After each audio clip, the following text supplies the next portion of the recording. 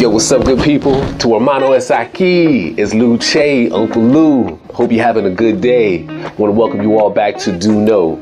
So let's talk. One thing I do know is no one likes to be intimidated.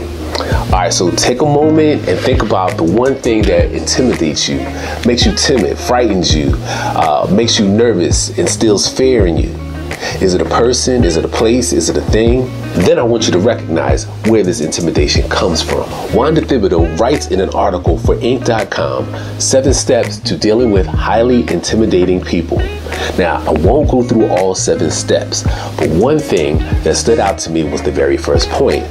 She says, mentally prepare yourself well ahead of time for interacting with the person who intimidates you.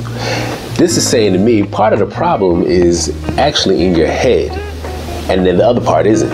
I believe that this can apply to all situations that intimidate you. Now, if you can get to a point where you can stop comparing, you can stop competing. On social media, you'll see people who put their best foot forward, and you won't know what they're going through or what they may be hiding. So you can't compare your life based off of some pretty picture. Doesn't make sense.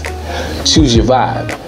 Make a decision to take the power back. This starts with talking to yourself. Sounds crazy? Probably only sounds crazy if you've never done it before. But take the time out to affirm yourself, believe in you, one step at a time. Got it. Eliminate intimidation. Start with being you. Blessings to you, my friend. Do know I'm out.